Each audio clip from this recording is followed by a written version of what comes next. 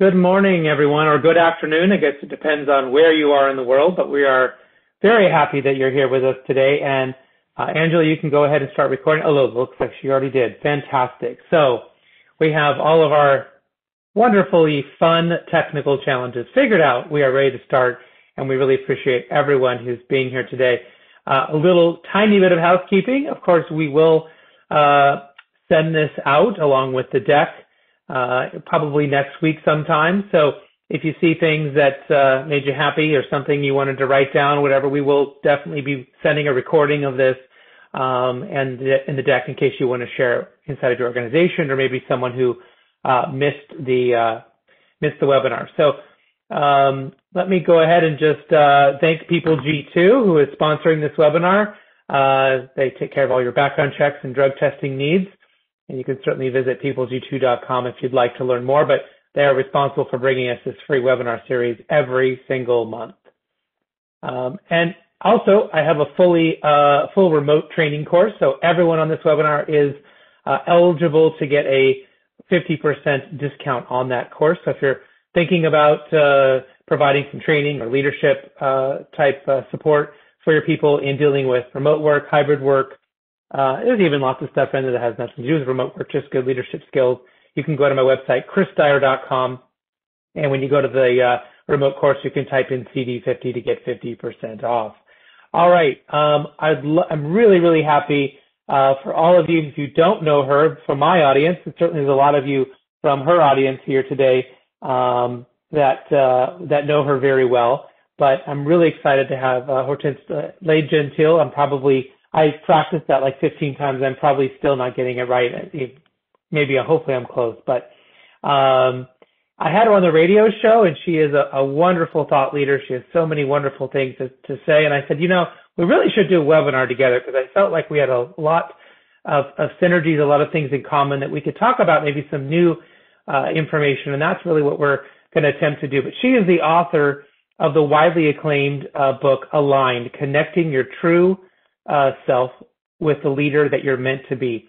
She works with decision makers around the world to help them lead with authenticity by finding and closing the gaps between the leader they are and the leader they want to be. Her executive coaching is informed by her 30 years in business working across a number of industries, including media and consulting, advertising, and entrepreneurship. She helps CEOs, C-level executives, and entrepreneurs become self-aware and more aligned personally and professionally, leading to better workplace environments and better employee well-being, and consequently increasing productivity and satisfaction. She's been invited to serve as an executive coach in the executive education program at the Harvard Business School, in that little that little place called Harvard, uh, and is a certified Marshall Goldsmith stakeholder centered coach and part of the MG 100 coaches uh, and Marshall Goldsmith's Pay It Forward project. She's also ranked number 13 in the World Management Gurus, Global Gurus Top 30 in 2020 and received in 2019 Marshall Goldsmith's Top 50 Top Coaches in the World. She's obviously uh, a superstar and we are super excited to have her. She's going to walk us through the first part of this webinar and we highly encourage you to put in your chats, put in information or questions in the Q&A.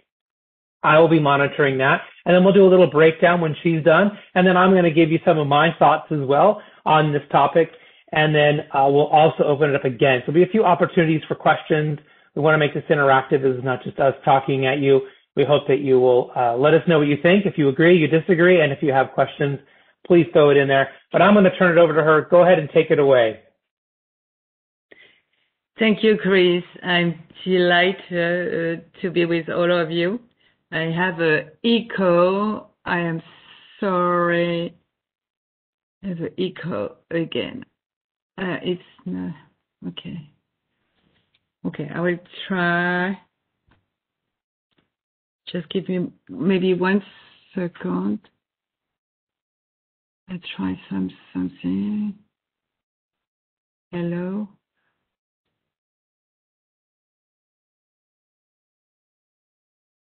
Hello? Oh, much better. Okay. Thank you. Sorry. Sorry. No problem. A technical. so thank you very much for having me. And I am delighted to be with you I still have an echo.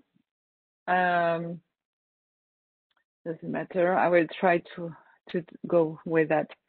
Um, so the word today, and we are face, facing a range of challenges. So health crisis, social crisis, economic crisis, anxiety, tension all, all, all around us. I'm sorry. I, I'm going to take one second again to try something because it's very hard. Okay. Make sure your headphones are chosen for Oh. speaker and microphone. You got it? Okay. Yeah, I got it. It's because it's I had oh I, I lost you. Oh.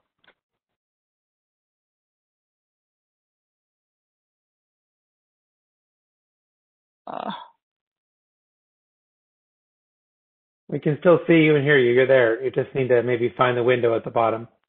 uh, okay, so I lost you completely. So you, I'm still here. Yeah, we can he- we can hear you. We can see you.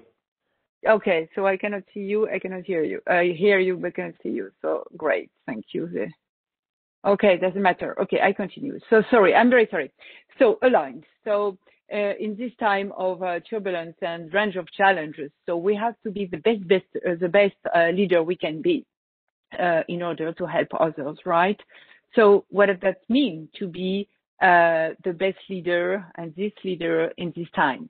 So this is, you know, I would like today to uh, uh, share with you some thoughts that I learned from uh, my uh, experience in executive leadership coach and helping CEOs and senior managers to be the best version of themselves and to be aligned.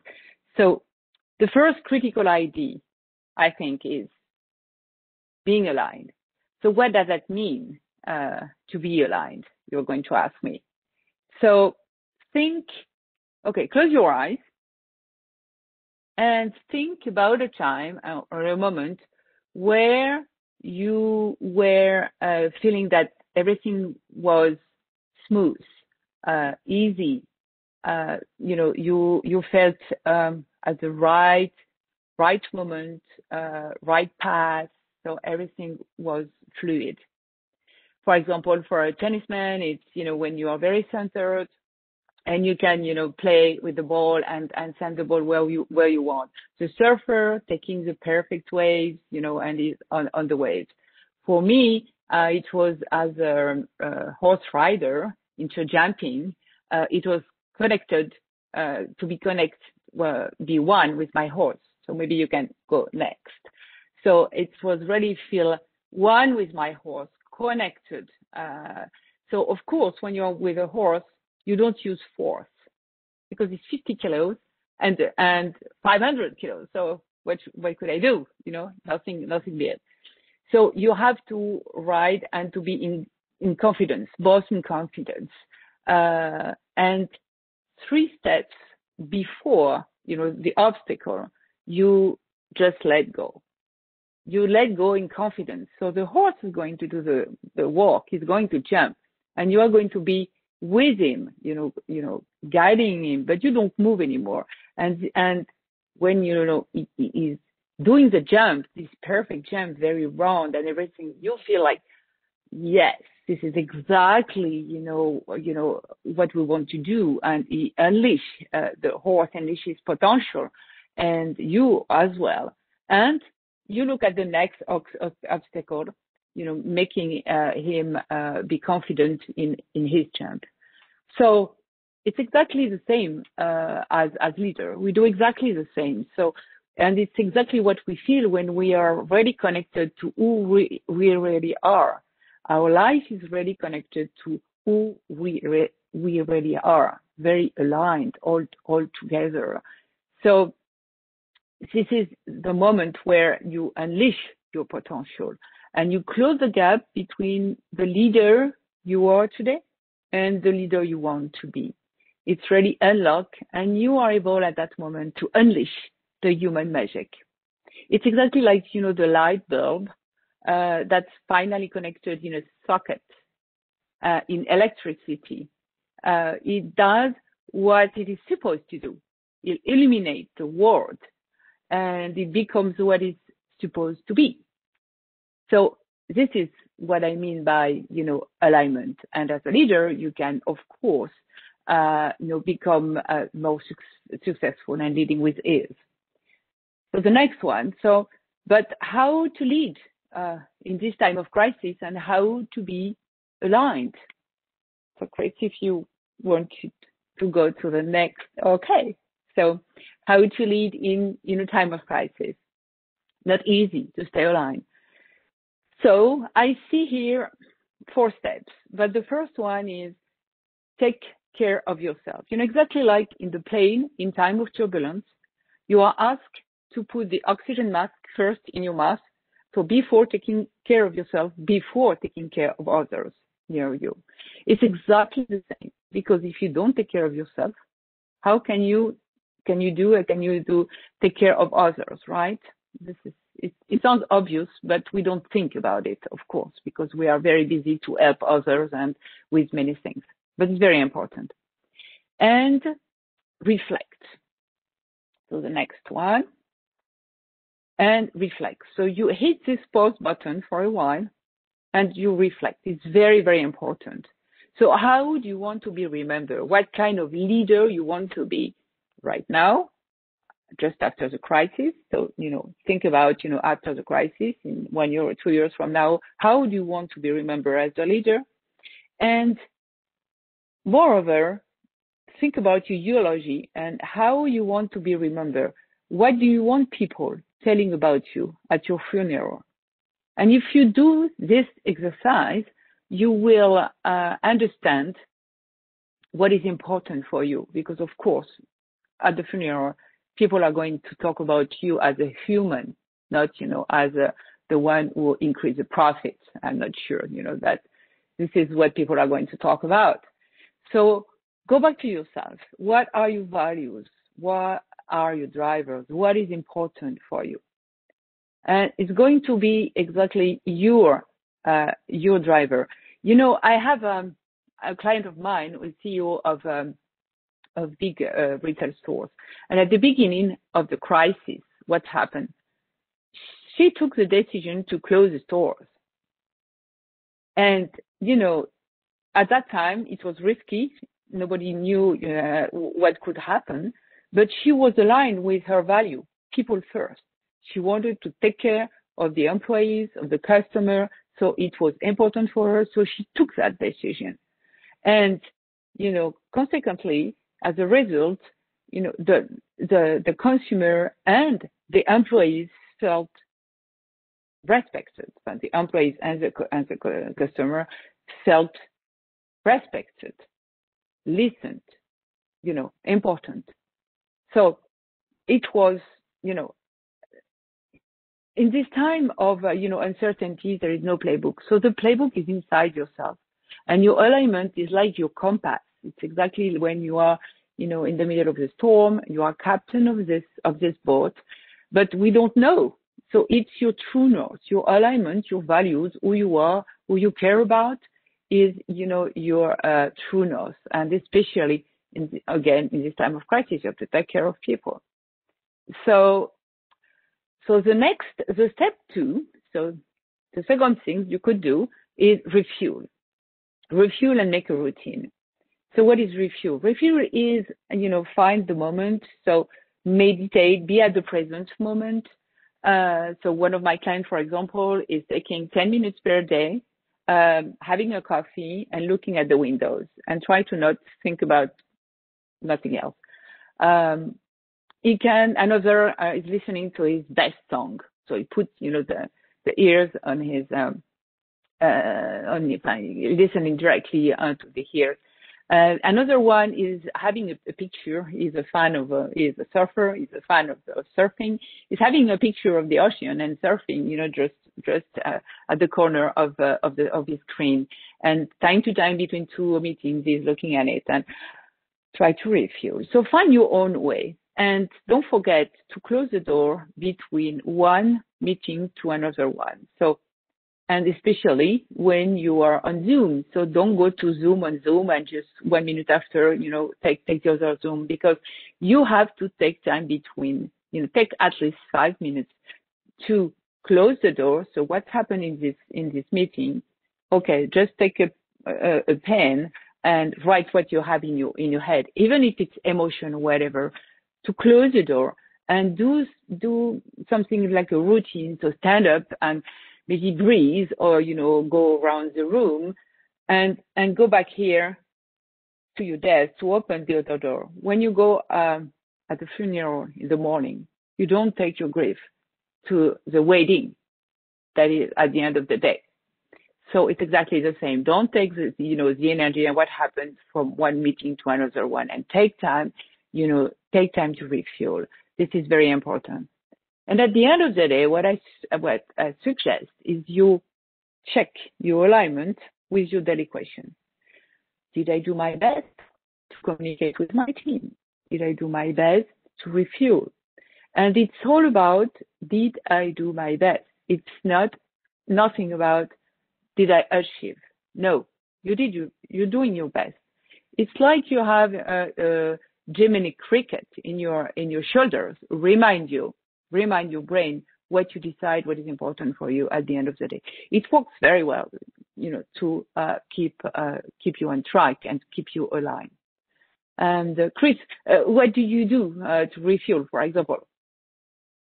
Yeah, um, I really like to uh, either take a walk, right, or what actually helps me is to um, is to really get myself organized at the end of the day so that when I walk in, that kind of gets me actually refuel, which sounds silly, but if I really prepare right at the end of the day for everything that I need to do for the next morning, I feel like I'm I'm ready, right? It sort of like resets me at the end of the day. So when I walk in the next morning, I'm ready to go and I'm not figuring things out. So it's sort of like a nice centering exercise as well. Oh, this is fantastic, and it, and uh, you know it give oxygen to your to your mind also. So that's great. So I would love to know all of you who are listening what you are doing.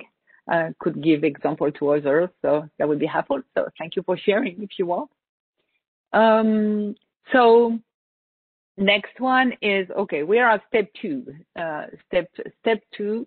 Uh, step three.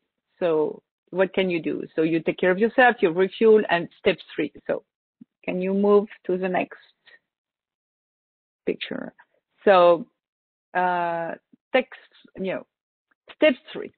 Step three is vulnerability. What is vulnerability? All leaders, we are really well trained to focus on your IQ, the left brain. But we don't, we forgot the right brain. So vulnerability is all about don't be afraid of your emotion. It's normal. We are all facing emotion, especially today. Uh, as a leader, you are leading to people who are facing emotions. So sharing those emotions and listening uh, is something very, very, very important today. So if we can move to the next one. So what kind of leader we should be? We should be human and vulnerable. So of course we have, you know, this little voice who said the left brain is telling you don't show your emotion because you are, your education said that. And the other part say, yes, but I have to do it because if not, you know, I'm going to burn out. So the, the thing is balance, you know, find this balance. But the emotions, the right part of the brain is, you know, this part is going to be able to connect with others, you know, feel emotion, be touched. Don't be, don't be afraid to be touched by people. You know, we are all humans. So we are connected with humans. So we feel something. So share it, share it, and you will, you will see that it's going to be, make the difference. So leading with empathy, be authentic. You know what you know. You don't know what you don't know. This is normal. We don't know. We cannot refer to the past. Everything is new today.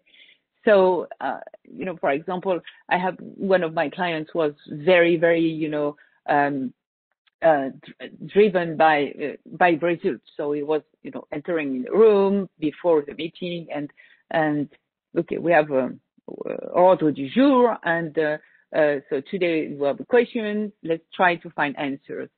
So what he learned during, uh, you know, it was very helpful for him to learn um, how to change mindset because it's not possible to do that today, and it was not before, but even today more about today because why? Because when you enter a room, even if it's a Zoom room, you have to, you know, what he did is he took time to listen to others and to care and to say, okay, how do you feel? What's happened in your house? What's happened to you? Are you okay? And he went all around the table like that, or, around the Zoom with his direct team, you know, weekly and very regularly uh, before each meeting, you know, taking care and feeling as, as an employee, feeling, you know, that you care about your employees. It's important. They are listened. And as a leader, learn to speak last and learn to listen deeply, really. So really open your heart. If something happens, you know, don't, don't think about, you know, having the good answer. Just listen to your, your heart and share with others how you feel. Maybe you are tired. It's okay to be tired and it's good. So you are human. You are not robot. So, and it's really a question of don't be afraid to lose time because you're waste, you, you are not wasting time. You're gaining time, you know, taking care of others and listening to others.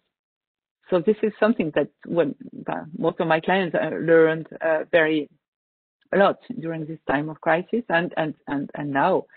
Um, so, and especially working remotely. So try to have, you know, some, uh, routine. Like uh, one of my clients is uh, for for his, his um, direct team is every day is meeting one on one with one of his direct team, and weekly to with everyone to be sure you know to be connected directly to this person and to know what's happened.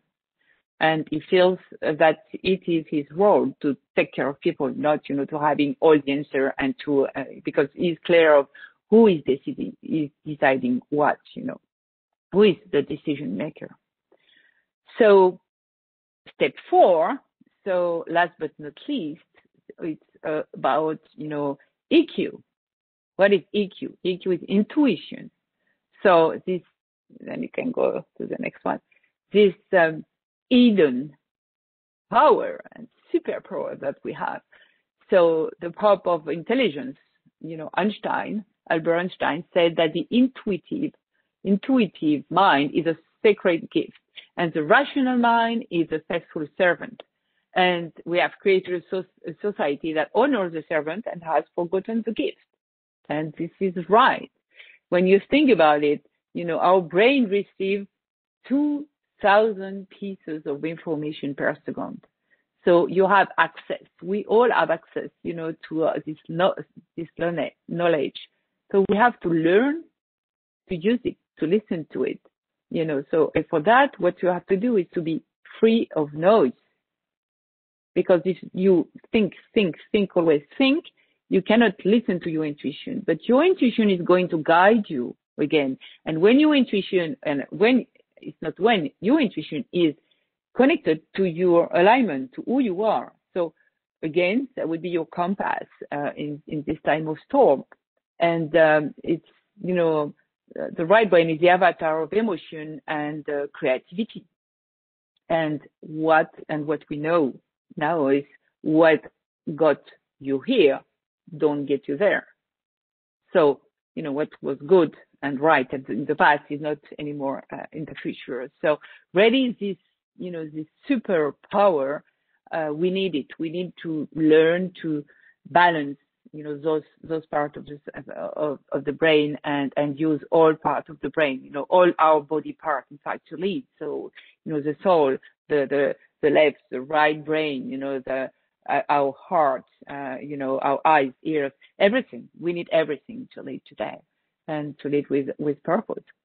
And finally the next one finally all that to to say that we are you know leading with humanity so this is what leadership is about today. So at the at the end of the day, you know, a company is a group of people. It's a sum of humans. So all human, all together, we have to go uh, and to to make one, like the horse and the rider, maybe to make one, you know, and you know to share this purpose, so your own connections, your own alignment. And as a leader, you share this alignment, what is important for you and the company with, you know, with, with your people and, and empower your people and uh, empower your employees and, and try to know what is important for them and try to make this link, you know, what I call that the alignment of alignments with S because we all have to be aligned. So we all have a dream, you know, uh, something that a, a purpose. So just find this purpose and how. So as a leader, knowing what kind of purpose so you have. So for example, we have a, the example of a, a manager in a in a store uh, who was uh, who asked everyone, "You, what is your dream?" So it was a dream, and he said, "Okay, I'm going uh, to try to make you do something for your dream. Maybe not achieve the dream because maybe the dream is, is, is big, but you know they work together on you know on, on this dream and how they can uh, they can the leader can help and the, the company um, can help achieve this uh, this this dream or, or at least you know go a step to uh, a step forward to this to this dream. So it makes all the difference because when you go to work, you don't go to work because you have to. You go to work because you are going to do something for your dream. So it makes sense for you. So it's your purpose. So this is what I call the alignments of alignments. And um, so I think it's all about be vulnerable, uh, connect with others, lead with empathy, like we said. So be authentic, uh, leading with your intuition. So the three steps were take care of yourself, refuel, uh, you know, lead with vulnerability, and talk about and think about your intuition.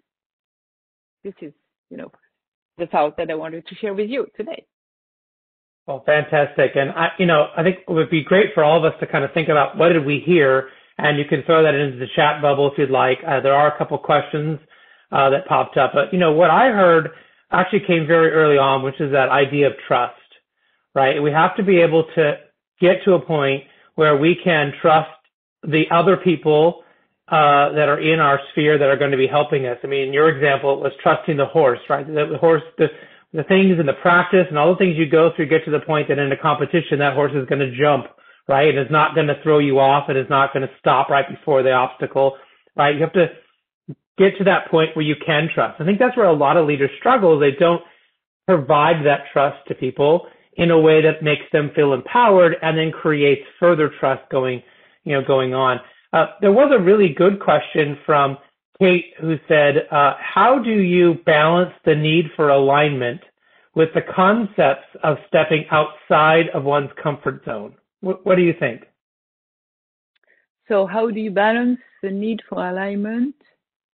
Um, oh, okay. Um, it, it's something that you that, that that you can that you can feel. So going outside of of your comfort zone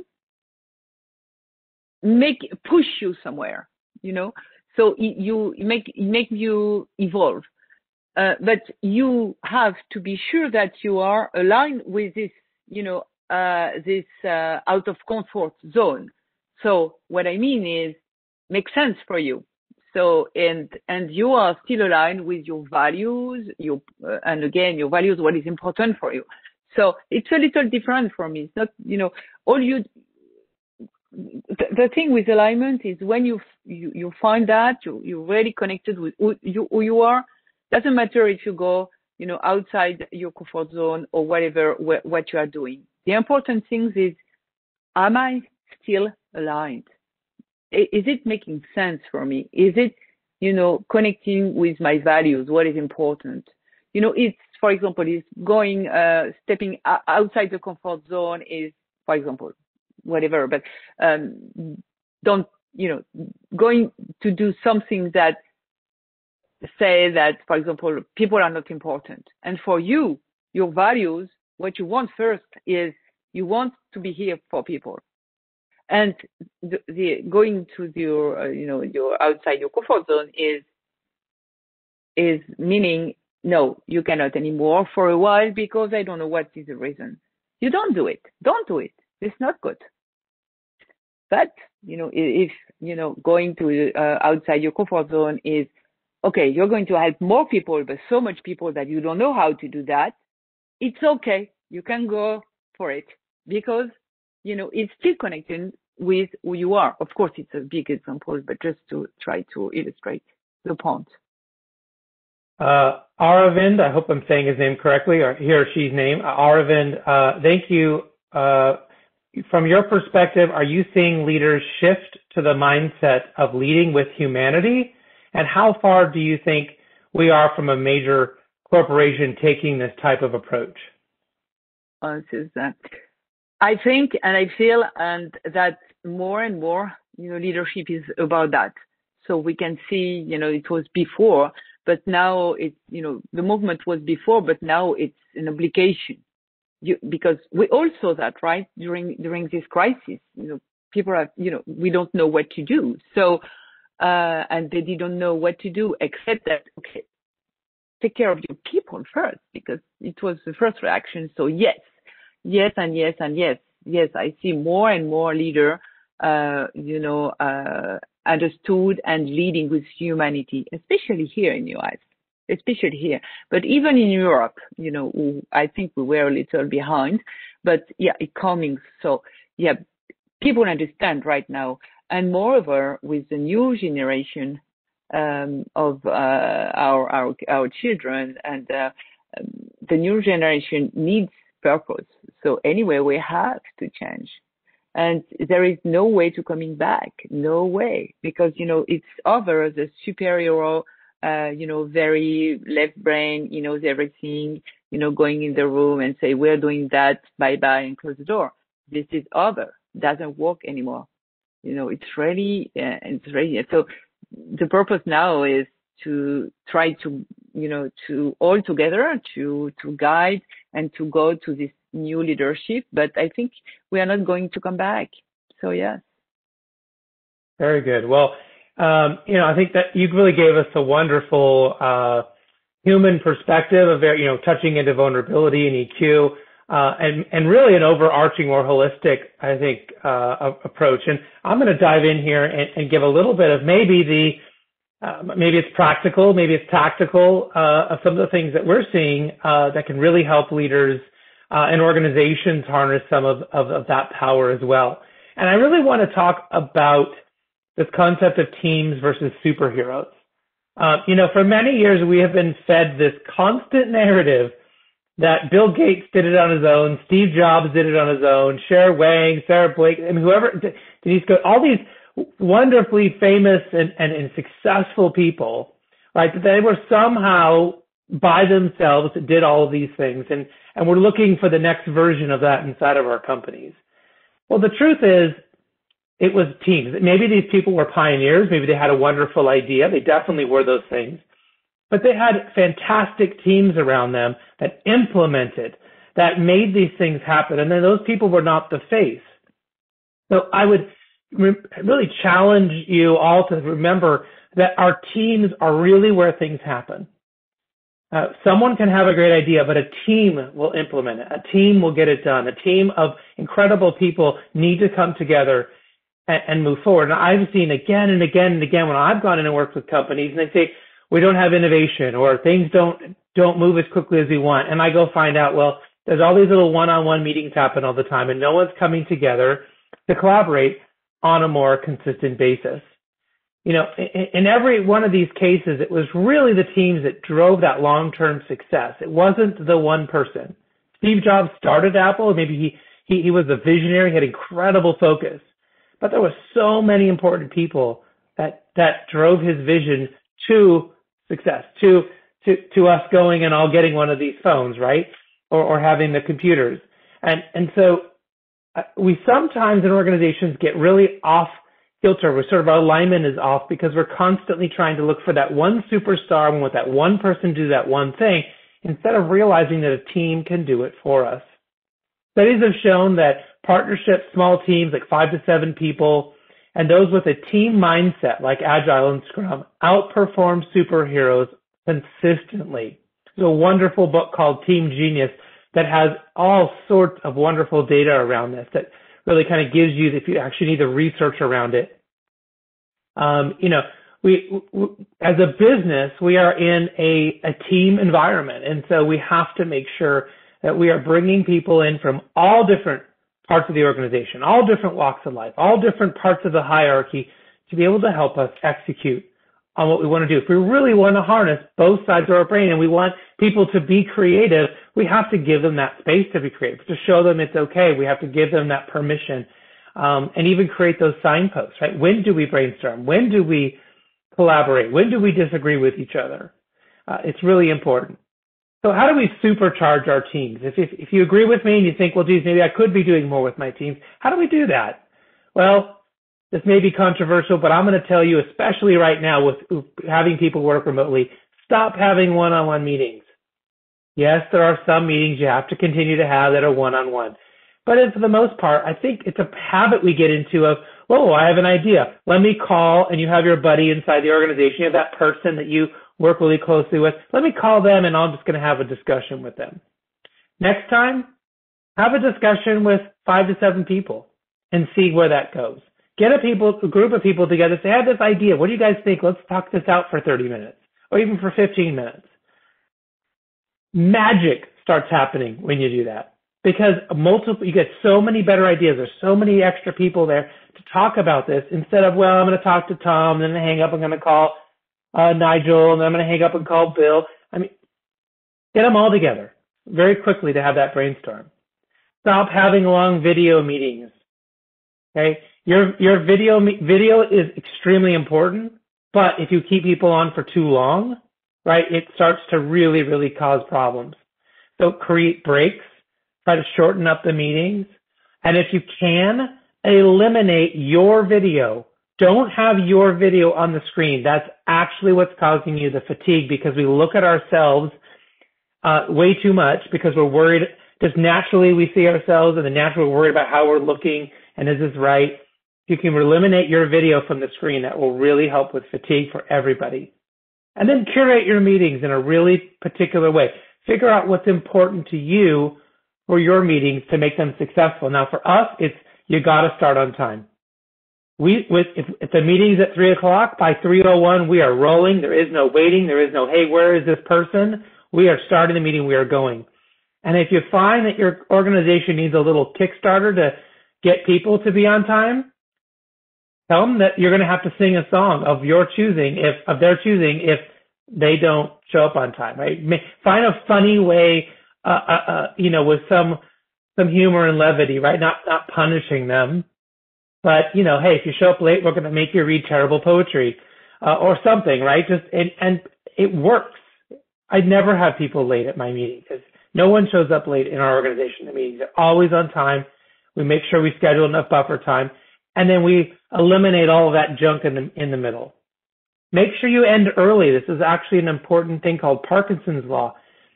Don't just because a meeting's 30 minutes on your calendar doesn't mean it has to go 30 minutes.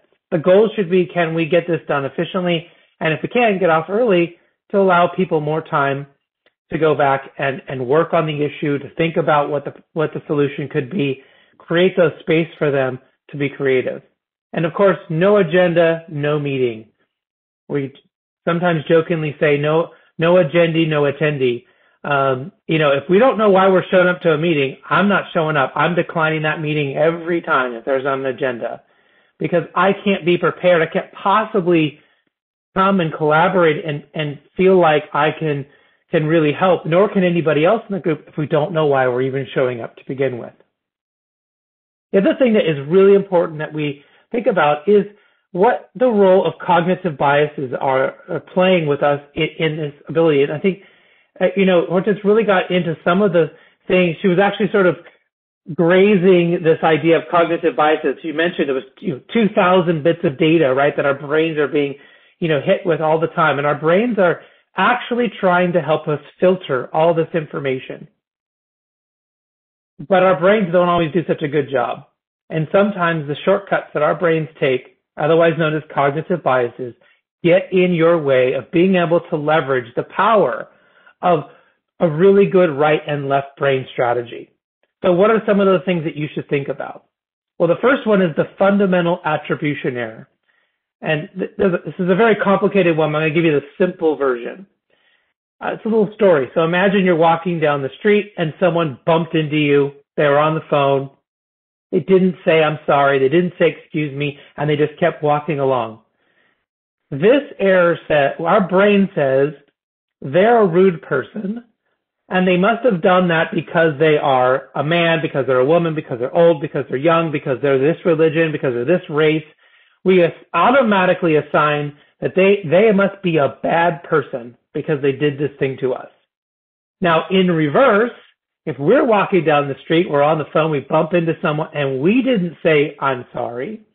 We would say, well, it's because I was busy. It's because I was running late. It's because I was on the phone with my mom and she's, you know, ill right now. Uh, we would give ourselves an excuse, give ourselves a reason why uh, we didn't do this thing, why, why we're not a jerk, why we're not a problem. And so we have to give other people the same grace that we would give ourselves. If someone shows up to a meeting late and it's an issue, ask why. Instead of scolding them, what's going on? Why, why weren't you able, why are you not able to show up to meetings on time? What's happening with you, right? Show them the same sort of grace and figure out what's going on in order for us to have better outcomes. But if we automatically assume that whatever we don't like about someone is because of something we can see about them, some physical trait, right? Then we are missing an opportunity to really understand what's happening. I mentioned it earlier, earlier about Parkinson's law. We want to make sure we're shrinking things. We're not allowing meetings or tasks or jobs to fill up the time that we've scheduled it for. So always set the goal to end early. Your people will love you for this. You set a 30 minute meeting and you end before 30 minutes is up. They will love you. They will love coming to your meetings. I promise you. You go over, you push into their calendar, you show them you don't care about how much they have to do by taking over time that wasn't even scheduled for. They are going to hate coming to your meetings, right? This is a really great way to show balance and to show trust is to try to make sure we get this done efficiently. The next one is the halo effect. Now the halo effect says there's two ways that this shows up in work. First of all, if just because someone is attractive or someone dresses very nice or walks around with designer clothes or, or accessories, we can, our brains can fool us to say, well, they must be successful. They must be good at what they do, right? That's not necessarily true. They could just have a lot of money. The second thing is, um, the second thing is really around just because someone did a good job in one area, so maybe they were really good on a particular project, maybe they, uh, a good example is maybe you have a, a, a top salesperson, right? They're excellent at sales. The halo effect says, well, if they're excellent at sales, they must also be excellent at accounting. Well, we know that not to be true, and that's a very raw example, right? But we can instead say, well, just because someone is good at one thing doesn't mean they're good at another. So don't make that mistake. Don't make that mistake that just because they dress very nice or they're very attractive to you, that they're going to be really good at this thing.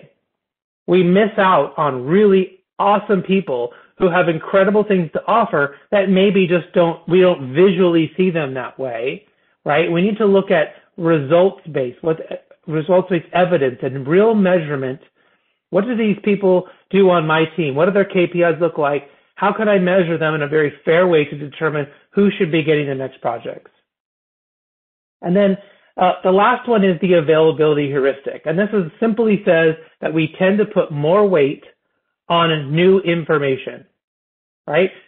Think about back when we used to go to parties, back when we were allowed to hang out with our friends, right? It's very common for us to talk about things we just heard maybe that article we just read, that post we just saw on social media, that TikTok we just watched, that is in the front of our brains and we tend to put more weight on that information than information we learned last week or last month or last year. New information isn't necessarily better than old information. And so it's important that we don't allow new information to, to sort of take over anything else that we have learned as well. So throw it out there and say, well, what's new and what do we know that's that's true? What what what do we used to think and, and bring that out to really help people determine what is good, where, where, where's the right place for us to sit in this new idea or in this discussion. So how do we feed both sides of our brain? How do we really focus in on, on our left and right brain strengths? So make sure that we are talking to our people about tasks versus creativity, right? Tasks versus creativity. Tasks are things you need to get done, right? I need to return this email. I need to send out this, this proposal. That's not being creative. So we want our people and we want as leaders to take time, even schedule time, right? One of your tasks should be to schedule time on your calendar to, to be creative. How can I make this process better? How can I reach more clients? How could I change my proposals so they be more effective? Right? We need to think about these uh, things as two different things. How do we create systems, right, to create pr- predictability? How do we, so people know what the rules are? But that's different than innovation. Systems will, by themselves, keep innovation out because systems want efficiency. They want things to be replicatable. They want things over and over and over to be done the same. Systems are great, but we have to also, on the flip side, think about how we can innovate those systems going forward in order to stay relevant. And of course, thinking about how we do something is very different than why we do something. So if you find that your team is overly focused on how we are going to do a particular project, you might want to back up and say, but why are we doing this project?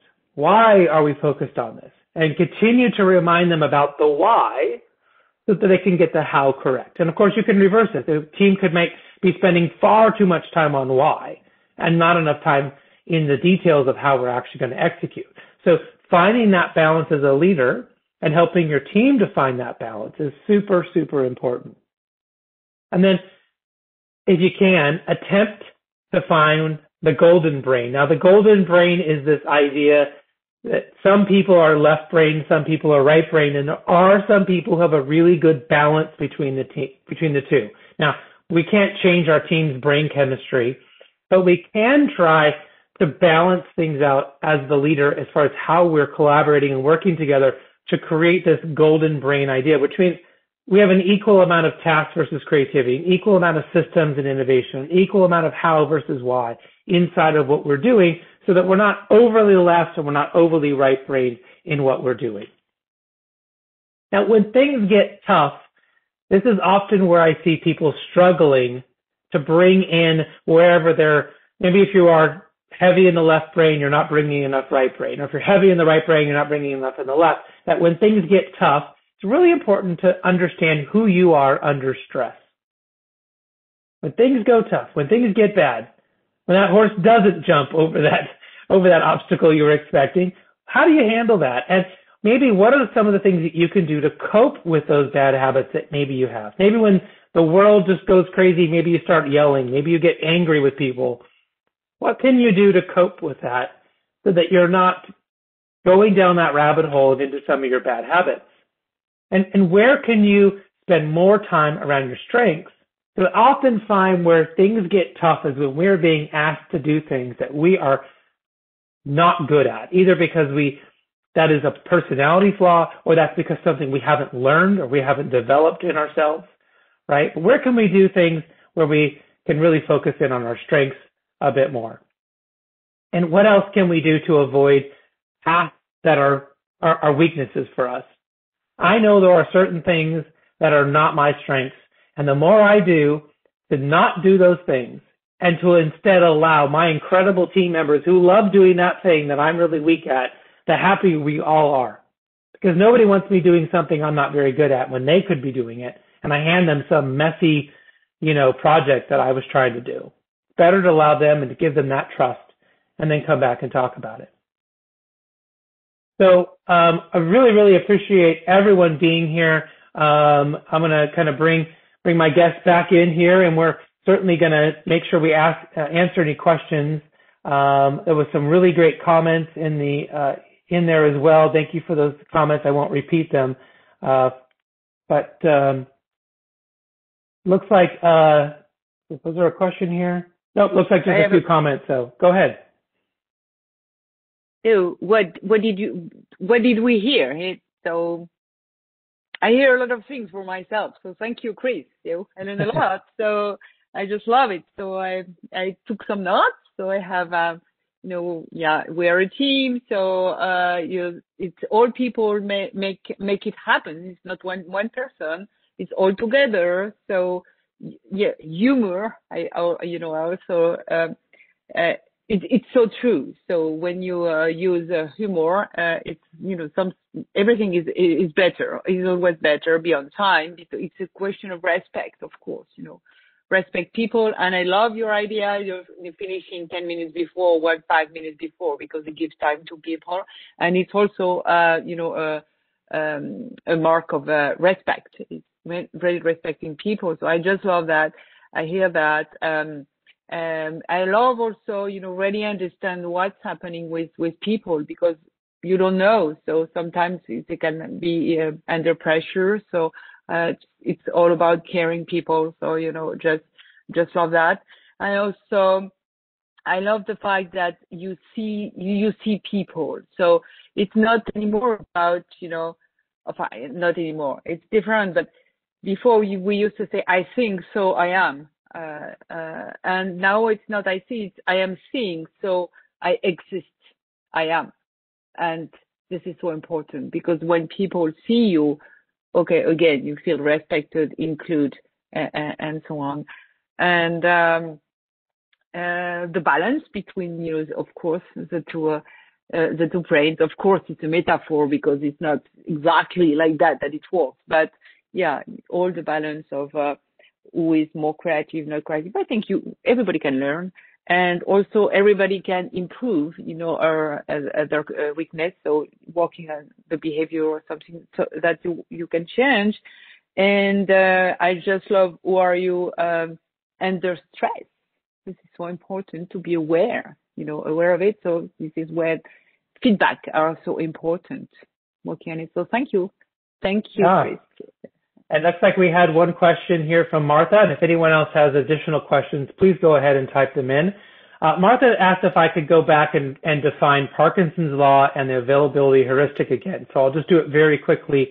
Parkinson's law says that if we set an amount of time to do something, we tend to take that amount of time to do it. So good example is if I schedule two hours this weekend to clean the garage, it will probably take me two hours to clean the garage. I'll move at a certain speed. I'll pick enough enough projects to to do, and I will fill up that time because I've set that time in my brain. But if I set the goal to end early, or if I say instead of two hours, could I get this done in 30 minutes? And if I did, what would I do? Well, maybe I would ask my family to help. Maybe I would prioritize what needs to be cleaned. Maybe I could hire some of the local, the kids in my neighborhood to come and help me. Right? How can you squish that time? But it's important is to remember that when we set time to something like let's have an hour long meeting, we tend to just fill it full of junk because our brains are saying, well, it's an hour meeting, we have to meet for an hour. And we don't have to do that. You can back that up. Um, and so the the second thing that we do is uh, inside of the availability heuristic is basically that says new information tends to get priority over old information. Just because we learn something new, we tend to think that that's more important than something old that we learned. And that's not necessarily true, right? A new study that came out isn't necessarily more important than an old study. Uh, obviously, if the new one contradicted the old one, that would be different. But learning something new is great. We just need to balance it against what we already know as well and not pro- over prioritize new information. Yeah. Let's see. Um, yes, uh, someone asked uh, if this will be uh, the presentation will be available after. Yes, we will be. As long as you uh, signed up, as long as you register, we will send you the full video as well as the um, as well as the slides as well. So you'll have all of that in there. Uh, there was lots of, of, great comments. Thank you so much for everyone. Um, and uh, looks like um, great. So everyone's just been saying nice things. I'm just looking. I didn't see any specific questions. So, um, you know, I think we're kind of getting here at the end of time. I uh, want to make sure that uh, I thank you for for everyone for being here. I thank you, Hortense, for for sharing your wisdom. Uh, your uh, every time you talk, I, I love listening to all, all the things you kind of take us down into and really uh, on a on a emotional level might be the better way to say it than even human level, the emotional level. So um, I'll leave I'll leave the final thoughts to you. I don't see uh, any other questions in here, so um, I'll leave the final thoughts to you. And thank you so much for being a part of, my, of the webinar today. Well, thank you, Chris. I was delighted to be here. Thank you for having me. And uh, you know, the last thing is lead all with humanity and you know stay aligned. You know, think about what is important for you and you know always connect you know to to that when you have a decision to to, to take i think. This is the best way to do right now. And thank yeah. you everyone for being there. Wonderful. And again thank you to PeopleG2 for sponsoring this. Uh, a free webinar series. We have one every month. So if you're on my website chrisdyer.com you can always be alerted to new webinars if you sign up there. And if you signed up on this for this one, well, you'll you'll get ones in the future. Don't worry, we have you on the list. And of course, if you're interested in a leadership course, you can get 50% off by putting in that promo code CD50. But again, thank you so much, everyone, for being here. Wonderful questions. It was wonderful interaction. And we will see you next month and uh, look for the full presentation next week. Thanks, everyone. Thank you for the leadership, Chris. Thank you so much. Thank you everyone for being here.